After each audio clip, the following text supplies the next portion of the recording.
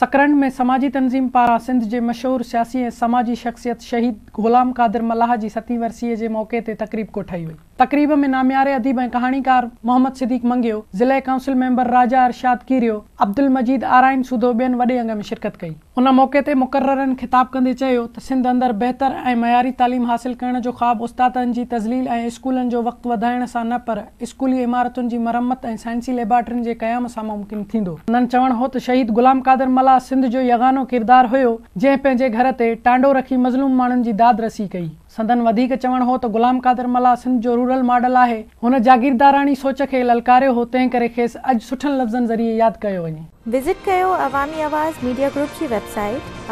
वञे